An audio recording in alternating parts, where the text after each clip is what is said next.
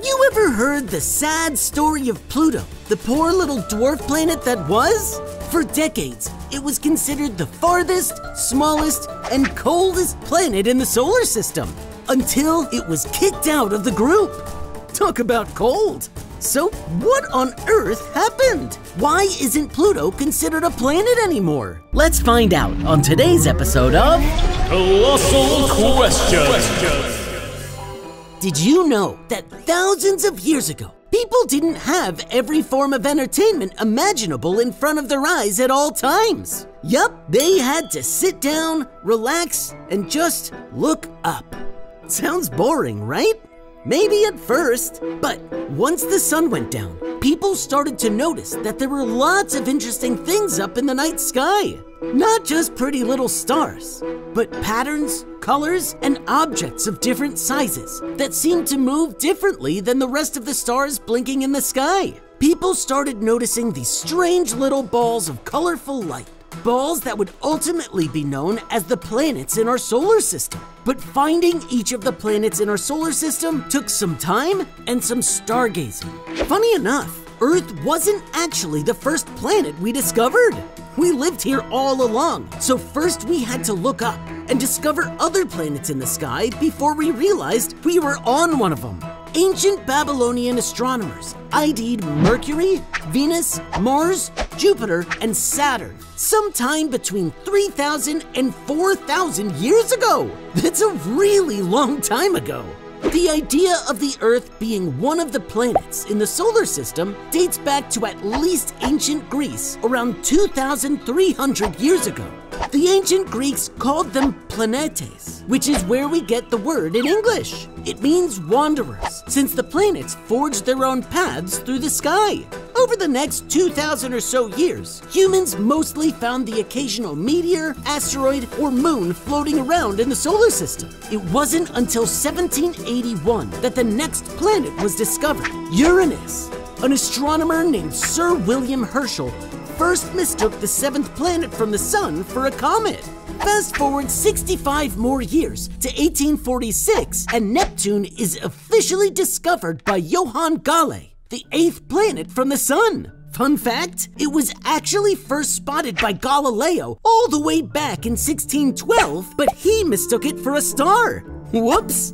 And finally, of course, there was Pluto. The poor dwarf planet that used to be a planet was discovered in 1930. This gave us a solar system of nine planets Mercury, Venus, Earth, Mars, Jupiter, Saturn, Uranus, Neptune, and last but not least, Pluto.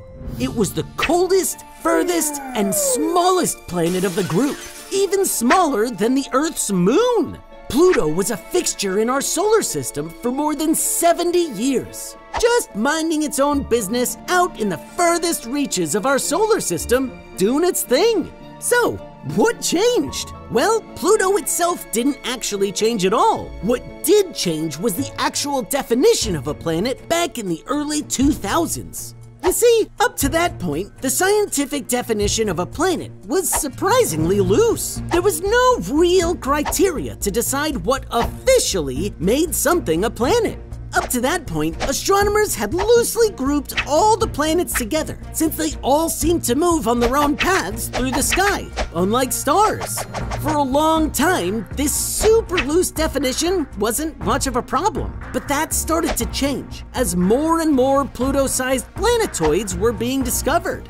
In the past, it would take hundreds, sometimes thousands of years for humans to notice a new planet. But with modern technology, we started finding lots of new things quickly. So quickly that we were forced to ask should all these new discoveries be considered planets too?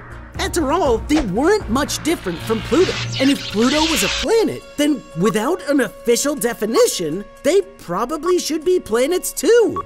So, in 2006, some of the top planetary scientists got together to try and define a planet once and for all. They came back with just three basic things an object needed in order to be considered a planet. First, it needed to orbit the sun. For Pluto, that's a check.